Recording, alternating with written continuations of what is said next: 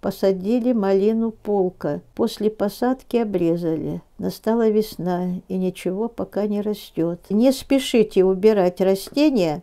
Если оно прижилось, если нормально развивается корневая система, то из э, почек, из почек на корнях у вас появятся ростки.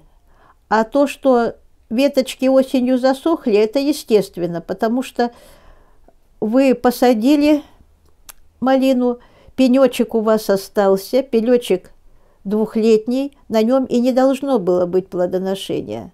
А весною у вас побеги, я так поняла, что этот вопрос был еще весной задан, а весной у вас побеги должны были пойти из придаточных почек на корнях. Поэтому не надо пока еще паниковать.